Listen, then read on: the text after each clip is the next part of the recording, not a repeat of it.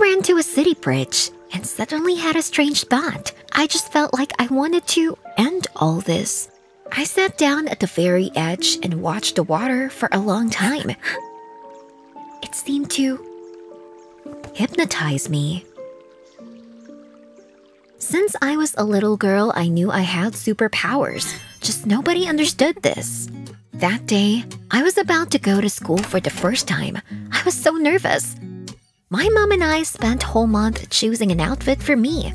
But just before I left, I reached for my favorite toy, Ricky the Unicorn anyway.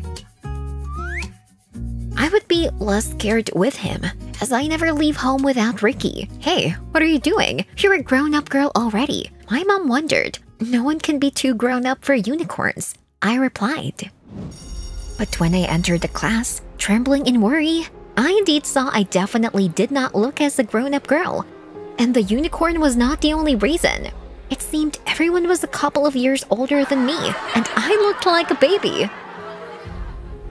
Maybe that was the reason no one wanted to play with me that day. I hugged Ricky and could barely hold the tears back. I decided I would not tell my classmates about my superpower yet. You just need to grow up a little bit, my mom said as I returned home, but that did not help.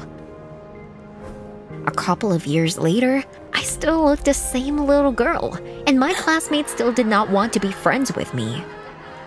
They kept on calling me mocking names, and I could not understand where to run from that all. Ricky remained my best friend, my only friend. One day, when I was getting ready for school, my mom said that we were going to a different place instead.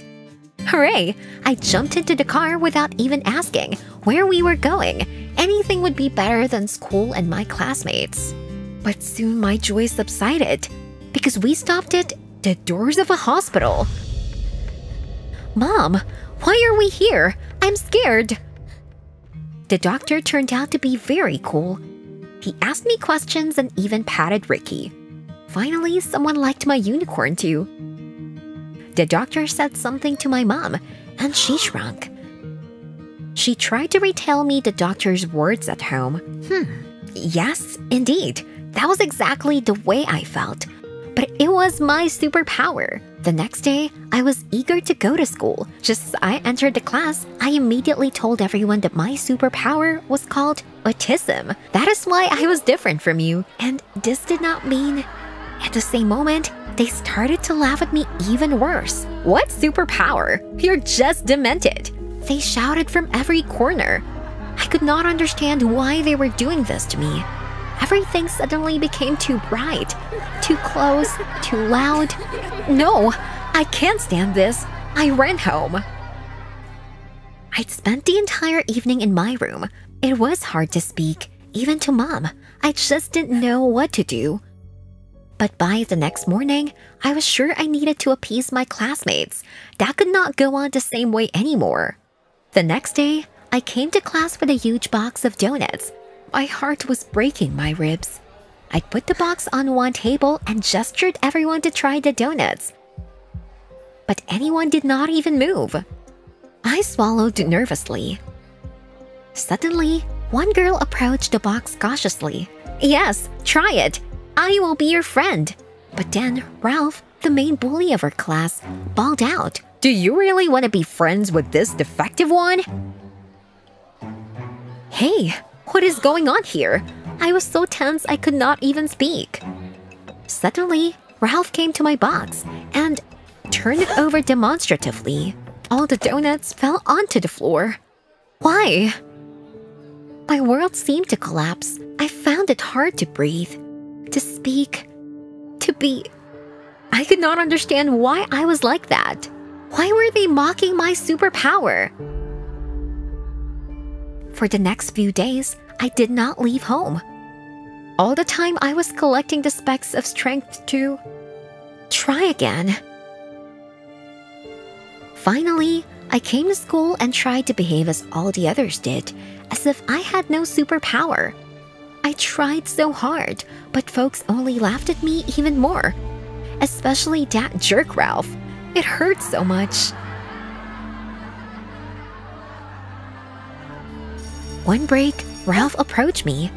I had a bad feeling, but there was nowhere to run. I took a deep breath. Hey, little one, still trying to be like all the others? He pointed out nastily. I was silent. Then why still carry that toy? Give it. And he took my Ricky. No, not him. I was suffocating in helplessness. I felt so awful. Why does not anyone want to be my friend? I fled and ran as long as I could. Oh, why am I like that? For all my life, I believed I had a superpower.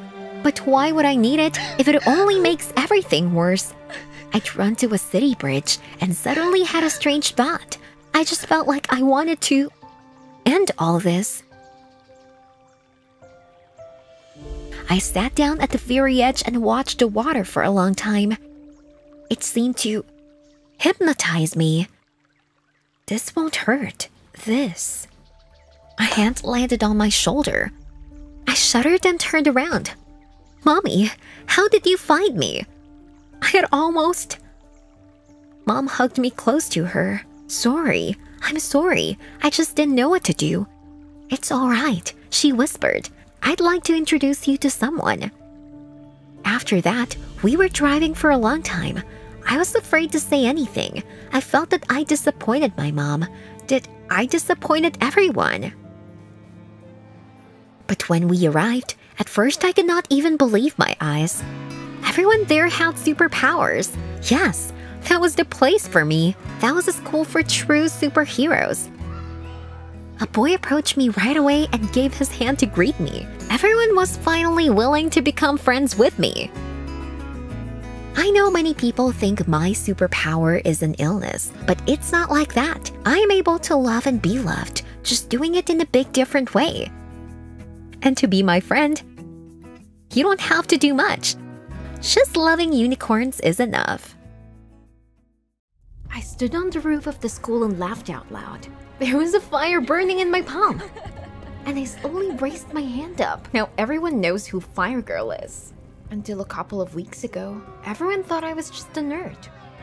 My younger brother Evan and I were late for class, and I took a sandwich out of my bag as I walked. I was about to hand it to Evan when someone snatched it out of my hand. It was Fat Joe. He took a big bite of the sandwich and told Evan that his nerdy sister wouldn't do anything anyway. The guys from Joe's gang laughed and left. I wanted to go to the principal, but Evan said he wouldn't help anyway. He'd already gone there. I was suddenly so hurt. I wish Dad was still alive. He would definitely protect us.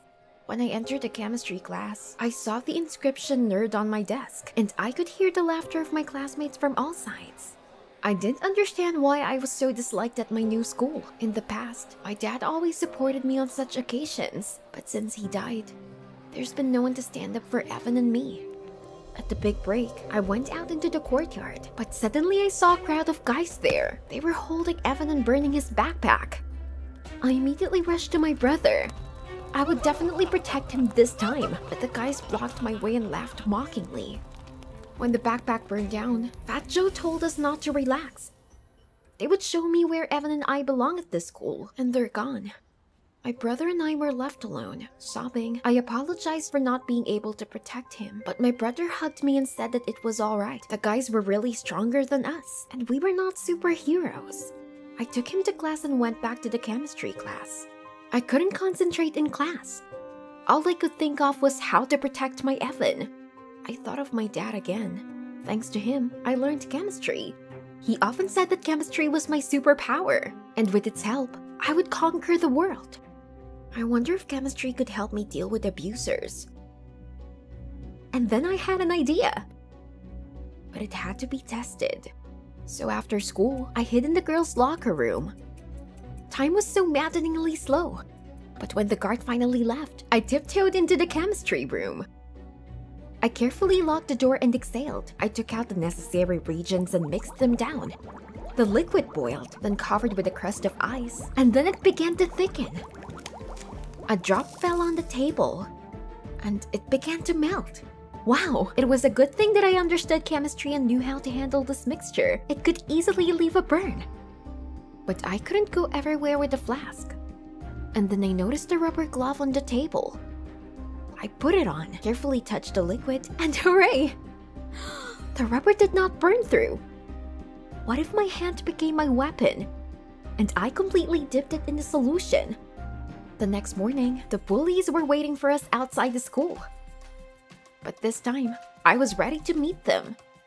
I gathered all my willpower, jumped up to the fat guy, and abruptly pressed my hand to his cheek. The boys roared with laughter, but the fat guy suddenly screamed. The skin on his cheek was red, and there were huge blisters on it. His friends screamed in horror and ran away. Evan looked at me with admiration, and I was elated. I did it! As soon as we got home, Evan ran straight to his room and made something there for a long time. And then he brought me wings in the shape of fire. He said I was his new superhero. Fire Girl, and every superhero should have a cool costume. And you're right. I could become a real superhero. I was so excited by this that I immediately ran to the bathroom. It was good that my knowledge of chemistry was enough to make a real hair dye. So, an hour later, I came out with fiery red curls. I even felt more confident. Evan said that our mom would appreciate it and immediately became sad. We hadn't seen much of her since our dad died because she was always working. I hugged Evan and told him that we would always be together, and now I could protect him. In the morning, Fat Joe's gang was waiting for us outside the house. I put on my suit and gloves and went out to them. Apparently, they wanted to avenge yesterday. Well, if you didn't have enough, there you are. And as soon as they reached for me, I touched each of them with quick movements of my hands. They screamed so much. You'll know I'm a fire girl now. The one who protects the weak. When Evan and I arrived at the school, everyone greeted me with a round of applause. It turned out that someone had recorded me dealing with Fat Joe's gang, and now the fire girl was the star of the school. I couldn't believe it, because just yesterday, everyone was laughing at me and calling me nerd. Requests for help poured in from all sides. Then I decided to start a Fire Girl Instagram, and during the day, more than 100 messages were collected in direct. It turned out that there was so much evil in the school. I realized I had to protect the weak now. Every day I punished the bullies in the cafeteria, on the football field, at recess. Fire Girl could protect everyone. After that, the students began to tell their friends about me, and soon the whole city knew about me. After a couple of weeks, the name Fire Girl was already in the front pages of the newspapers. Drunk driver got what he deserved, Fire Girl punished the thief. I boasted to Evan that I had made the city a better place to live. At first, he was happy for me, but one day, when I got home late one more time, Evan said that because of my superhero activities, I not only put the school on hold, but also rarely communicated with him. Evan, it's not like that at all. Then he suggested that we played something together, like before. I agreed, but not for long. After all, I had a lot of requests in direct. We sat down on the console and began to play. The hero's hands were on fire, and I thought if only Fire Girl could do this, then it would be so much easier to fight evil. And then I had an idea. I told Evan we'd finish playing later, and then I ran to the chemistry room. Fortunately, the door was open. I knew what to do. All I had to do was find the right reagent. Carefully, I added a few drops to my mixture. It burst into a bright flame, but it didn't burn me at all. Yes, now I will be able to protect not only your city, but the whole world. I went back and wanted to show it to Evan, but he was already asleep. However, I found a note on the door of my room. I'd like to see my sister more often. I was angry. How could he be so selfish? Other people actually needed help too. A message came to direct. So I immediately turned on the news. What was it? On TV, I saw the tearful wife of the famous millionaire. It turned out that her husband put her out on the street with the child. It was just a disgusting act. I couldn't wait to punish him. I ran to the millionaire's house where a crowd of journalists had already gathered. And here he was. Just the sight of him made my stomach boil. I slammed my fist down on the fence. And suddenly a spark from my palm spread to the dry branches nearby. The fire began to flare up and a few seconds later, the house began to burn. Oh no! The reporters immediately turned the cameras on me. The reporter asked sharply, why did I, the savior of the city, set fire to the house of an innocent man? I didn't know what they were talking about. And then the journalist said that the millionaire's wife had just admitted on camera that she had lied and just wanted to frame her husband. Then I was taken aback. The journalist immediately bombarded me with questions and I had to run. My Instagram direct was also bursting with angry messages. Hey, but I tried so hard for you, and this millionaire was to blame for everything. Furious, I went home. And Evan yelled at me. He said that he had seen the footage and asked how I could have done it without understanding the situation. Stupid boy! Can't he see that without me, the city would be mired in crime? How can one mistake negate all good things? But he left, slamming the door. Heck, it was necessary to switch somehow. I went to Instagram, but all the haters were there. Suddenly, in one message, I saw a photo of our principal on the roof of the school. Anonymous wrote that he was hiding something illegal there. It's a go! I would punish the principal, and so I would prove to everyone that Fire Girl was on the guard of the city and they could rely on her. I immediately ran to the school. At the bottom was a crowd of students. Strange. What were they doing here? There was no time to sort it out. I went up to the roof and saw the principal there. Now you will be responsible for everything. I held out my hand with the flame burning on it. No one escapes justice, but suddenly I heard footsteps behind me. I turned around and saw my brother. What was he doing here? Evan suddenly started begging me to stop. I pushed him away. Stay out of adult business, but suddenly, what was it? I heard a high-pitched scream. It was Evan. Because of my push, he lost his balance and fell off the roof. I immediately went down the fire escape and prayed that he was alright. I pushed through the crowd of students and tried to feel for a pulse. Come on, Evan. Come on! I clung to him and heard a faint moan.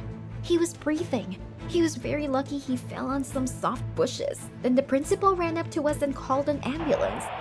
I shouted that if it wasn't for his dirty deeds, nothing would have happened to my brother. But he just looked at me in surprise and said that he wanted to make a holiday on the roof of the school.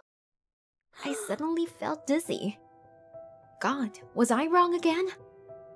The doctors put Evan in the car and we drove to the hospital. I took off my fire glove and squeezed my brother's hand tightly.